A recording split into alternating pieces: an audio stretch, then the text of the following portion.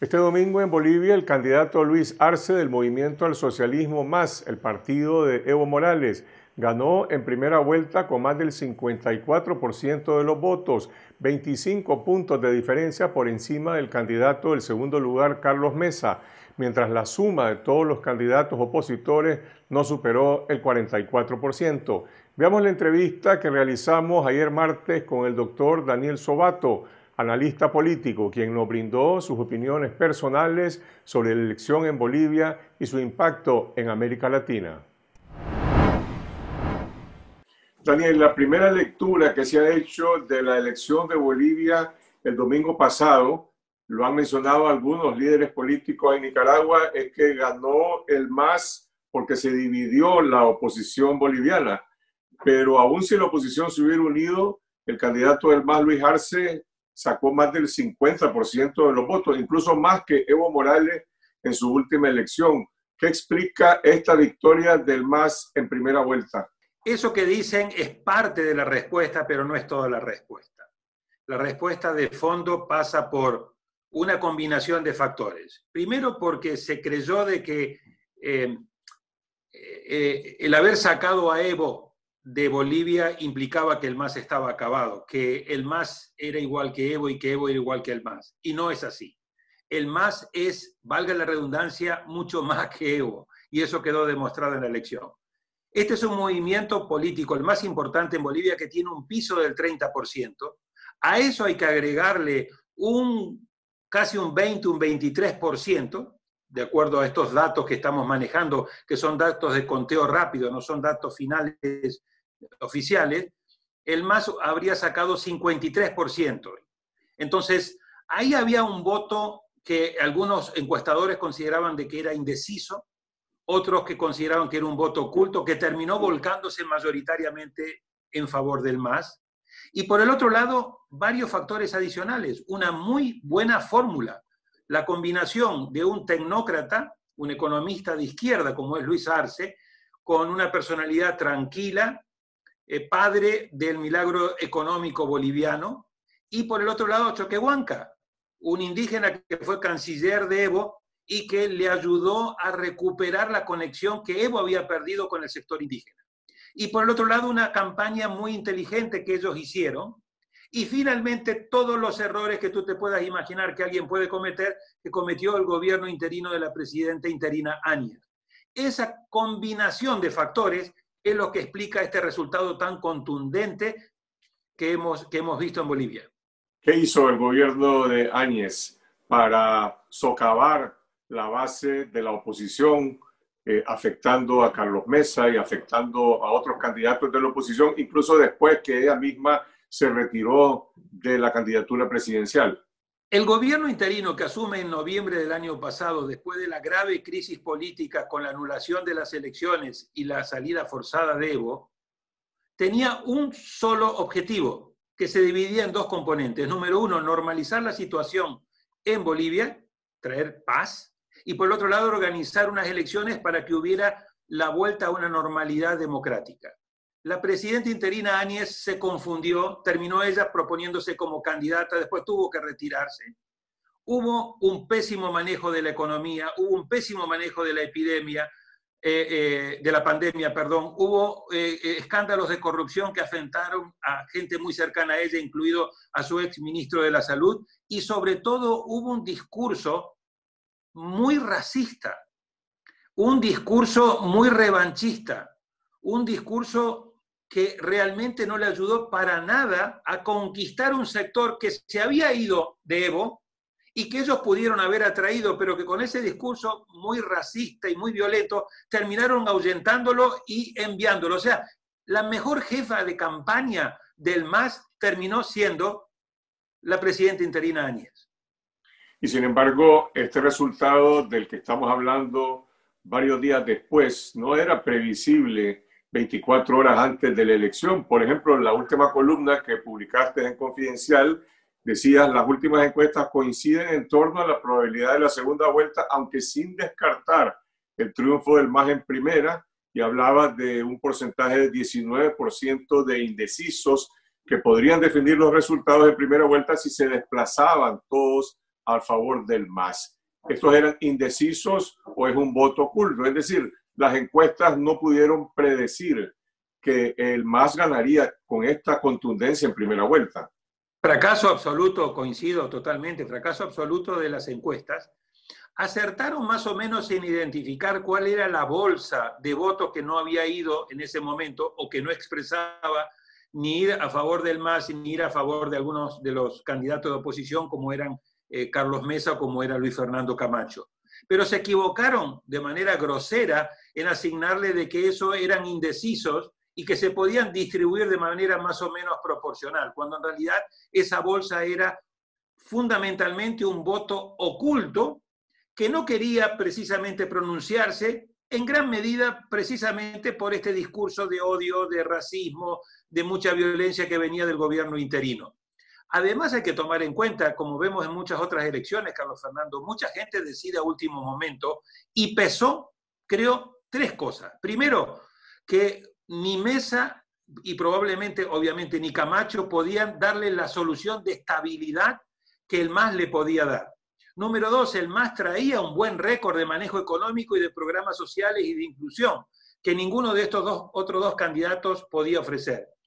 Y tres, claramente el voto, eh, que yo llamo el voto pandemia, si la pandemia te puede ayudar a ganar elecciones, como hemos visto, por ejemplo, en Uruguay en las elecciones municipales, como hemos visto recientemente en, Nueva Zelanda, como hemos visto en Corea del Sur, o realmente te puede generar un voto pandemia totalmente negativo si vos haces un mal manejo de la pandemia y un mal manejo de la economía. Y el gobierno interino, vuelvo a decir, lo hizo todo mal.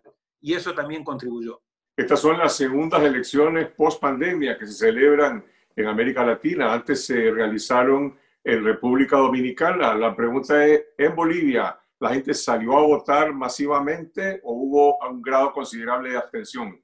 En realidad estas son las segundas elecciones en contexto de pandemia en América Latina a nivel presidencial y congresual, las de República Dominicana y las de Bolivia, pero también acaba de haber una elección municipal, 27 de septiembre, en Uruguay, y vamos a tener varias otras de aquí a fin de año, entre ellas el domingo que viene acá un plebiscito constitucional en Chile.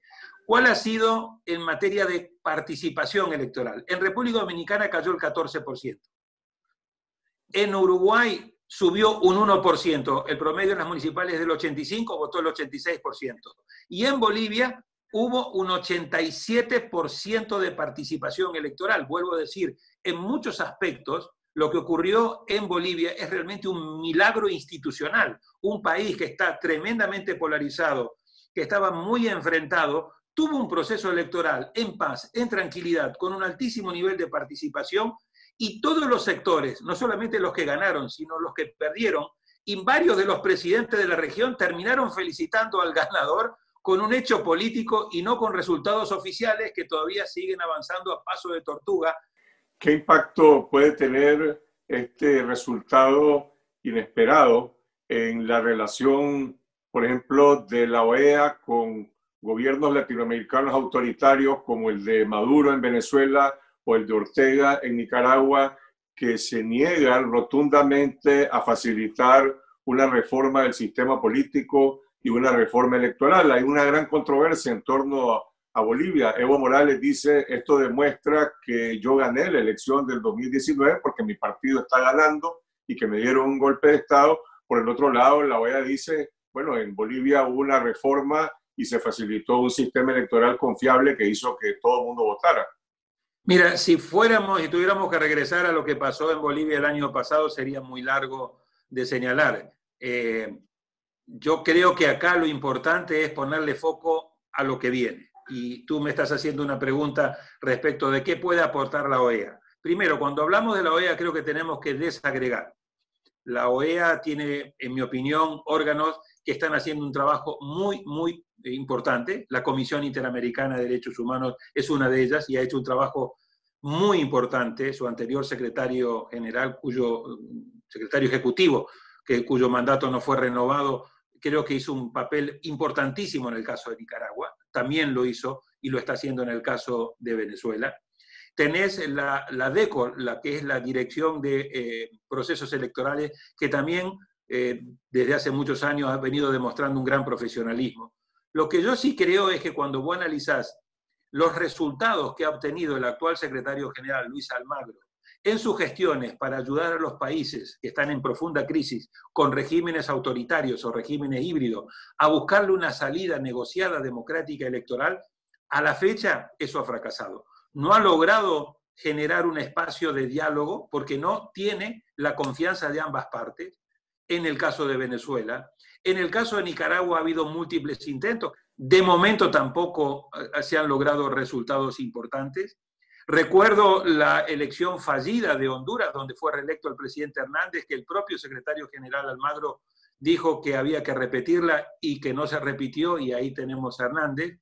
Y en el caso de Bolivia tuvo diferentes posiciones, este, en algún momento apoyando a Evo, en otros momentos criticando a Evo. Así que creo que está por verse, pero yo creo que hay que ser muy realista de lo que se puede esperar del aporte de los organismos internacionales, incluso regionales como la OEA, para buscar salidas democráticas. Lo que la experiencia demuestra que depende mucho más de lo que uno haga hacia adentro, de la unidad de la oposición, de la coherencia y consistencia para seguir presionando al régimen. Obviamente lo internacional siempre ayuda, pero no reemplace ni sustituye lo que uno debe hacer desde dentro. Pero esta elección de Bolivia, después de una profunda crisis durante un año entero, de alguna manera también está demostrando que un proceso electoral limpio, transparente, facilita una salida democrática en la que ganan todos. Gana en este caso el MAS, la izquierda democrática, gana la oposición. De alguna manera estaría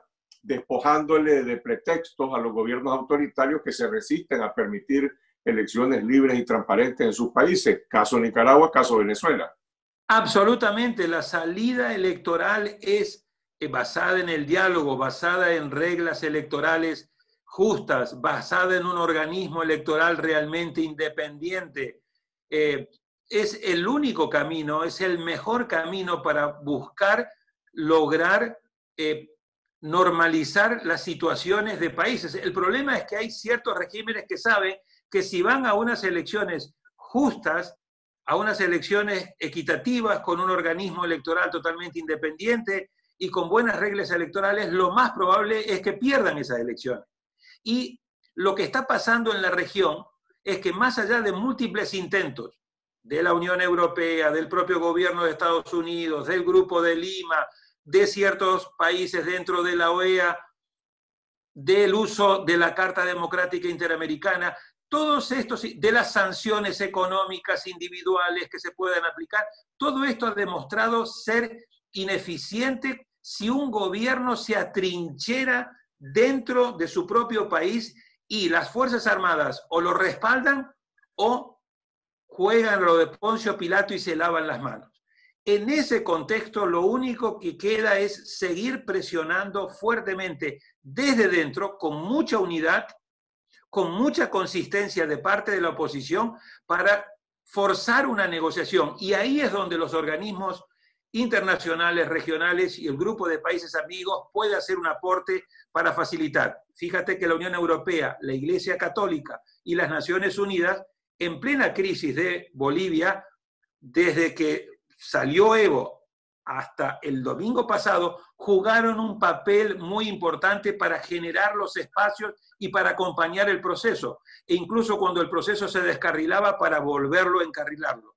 O sea, hay un aporte fundamental que se puede y se debe seguir haciendo. Y el ejemplo de Bolivia, creo, no, en los resultados, sino en el proceso, creo que es un ejemplo muy importante que hay que eh, monitorear para el caso de Nicaragua. Lo que estás diciendo es, como se dice popularmente, que la pelota esté en la cancha, en todo caso, de la oposición en Nicaragua, en Venezuela, de las fuerzas nacionales, para lograr arrebatarle al régimen un cambio político que permita esa elección con el apoyo, obviamente, de la comunidad internacional. Es lo uno con lo otro, pero lo uno empieza por lo de adentro, desde la oposición interna, y siempre con la ayuda de lo internacional, porque lo internacional, vuelvo a decir, demuestra que puede acompañar, puede crear espacios de diálogo, puede generar en momentos de crisis este, puentes, puede generar incentivos, pero el papel fundamental corresponde a lo que uno puede hacer y debe hacer desde dentro, desde una posición, vuelvo a decir, unida y una posición que sea consistente. El problema, por ejemplo, que vemos en Venezuela es que vos tenés, el problema está dentro de la oposición, con tantos diferentes eh, sectores y además con posiciones tan divergentes desde unos que consideran de que esto lo tiene que solucionar Estados Unidos con una invasión, a otros que consideran de que no, que hay que ir y participar, eh, aunque no estén dadas las condiciones óptimas para esa participación electoral. Hay que buscar este nivel de unidad y de consistencia dentro de la oposición y después apoyarse en lo que pueda hacer la comunidad internacional. Y en Bolivia la oposición tuvo la oportunidad de gobernar un año en ese proceso de transición y por lo que estás diciendo más bien produjo un desgobierno en relación a la economía, en relación a la reconciliación y en relación a la pandemia. Y tenés que tomar en cuenta que hay unas diferencias muy grandes entre este gobierno frágil, em, armado a último momento, de carácter transitorio, que debió haber tenido tan solo tres o cuatro meses, porque en el inicio de este gobierno transitorio, vuelvo a decir, el objetivo era normalizar el país y convocar elecciones. Lo que pasa es que después no se pudieron convocar las elecciones rápidamente, no estaban dadas las condiciones. Después vino la pandemia, obligó a posponerlas dos veces y eso fue lo que llevó a que este proceso, que debió haber tenido lugar tres meses, durara un año. El gobierno autoritario de Daniel Ortega es completamente diferente y la estrategia para eh, enfrentar un gobierno autoritario como el de Daniel Ortega tiene que ser también diferente. Pero hay condiciones básicas en las cuales vuelvo a insistir. El, el trabajo fundamental se hace desde dentro, no es rápido y tienen ustedes un elemento adicional de desventaja. La crisis venezolana ha eclipsado permanentemente a la crisis nicaragüense en el plano internacional. Yo he venido incluso denunciando muchas veces que se habla mucho de Venezuela y poco de Nicaragua. Y cuando vemos los sufrimientos, las violaciones a los derechos humanos, los asesinatos que ha habido en Nicaragua, son igualmente de graves. Así que ahí ustedes también tienen que hacer un esfuerzo adicional para tener mayor visibilidad dentro de la región y fuera de la región, porque de lo contrario Venezuela los termina eclipsando. El futuro gobierno de Luis Arce eh, enfrenta por una parte el dilema del el retorno de Evo Morales al país. Hay muchas preguntas. Evo Morales llega a dirigir al MAS, a incidir en este proceso. Eh, eh, Luis Arce va a imponer su autoridad y su liderazgo. Y en segundo lugar, cómo se proyecta esto a nivel internacional con las alianzas que Evo mantenía con Maduro, con Ortega, con Cuba. Es decir, el gobierno de Luis Arce viene a revitalizar el ALBA o a enfocarse en enfrentar su crisis nacional, económica y de división del país? Luis Arce va a heredar una situación y un país en profunda crisis. No va a gobernar el país que él hizo cuando era ministro de Economía de Evo, donde tenía precios de commodities muy altos, donde tenía una situación económica eh, excelente. Hereda un país en crisis con una pandemia que no, no ha sido resuelta, con un Estado débil, con un sistema de salud muy frágil, hereda una crisis económica muy, muy severa, con una caída alrededor del 7 o incluso un poquito más en materia económica en el 2020, con un aumento importante del déficit fiscal. Hereda a su vez una situación de un deterioro muy importante en materia de pobreza. Por lo tanto, sus prioridades tienen que estar cifradas en lo interno. Primero, atacar a la pandemia. Segundo, recuperar crecimiento económico. Tercero, protección social. Creo que esto lo está entendiendo muy bien. Ha dicho que sus primeras medidas van a ser un bono para combatir el hambre. Cuarto, tiene que ponerle mucha atención a que va a tener que gobernar con mayor diálogo, con mayor entendimiento. Es cierto que ellos sacaron el 53%, pero si sumas el 30% de Mesa más el 14% de Camacho tenés un 44%, o sea, el país sigue todavía polarizado. Creo que Arce lo ha entendido, ha, sido muy magnánimo en, la, victoria, ha, tenido un discurso de mucha reconciliación, diciendo que quieren aprender incluso de los errores del pasado, es consciente del difícil momento que le va a tocar y finalmente un desafío enorme que es que él es el presidente y no que lo vean como un títere puesto ahí por Evo y que luego Evo regresa a Bolivia y se va a ocupar de la presidencia. Es decir, eh, tratarse de quitar la sombra de Evo y ocuparse de posicionarse como el verdadero presidente. En materia de política exterior, claramente creo que se va a alinear con, con los países miembros del Grupo de Puebla, con Argentina, de Alberto Fernández, con México, de Andrés Manuel López Obrador. Eh, creo que va a reformular rasgos importantes de la política exterior, pero no lo veo dedicando su tiempo y su energía a tratar de, de, resucitar un cadáver como es el ALBA. O sea, el ALBA hoy ya fue, en mi opinión, y creo que perdería su tiempo si se dedicara a, a resucitar algo que ya murió en lugar de ocuparse de un enorme desafío que tiene dentro de su propio país. Eso es lo que dice el analista político Daniel Sobato sobre la victoria del MAS en Bolivia y los desafíos del presidente electo Luis Arce. El periodismo crítico e independiente nos empodera porque nos ayuda a tomar mejores decisiones y enriquece el debate público. En Confidencial consideramos que todas las personas deben de tener acceso al periodismo de calidad en Internet. Por eso hemos lanzado un modelo de membresía que a diferencia de una suscripción digital en la que pagas por acceso exclusivo a contenido que está bajo llave, te brinda productos adicionales que ya están en nuestras plataformas, que continuarán abiertas para todos. Te invito a visitar confidencial.com.ni para obtener más información sobre esta iniciativa.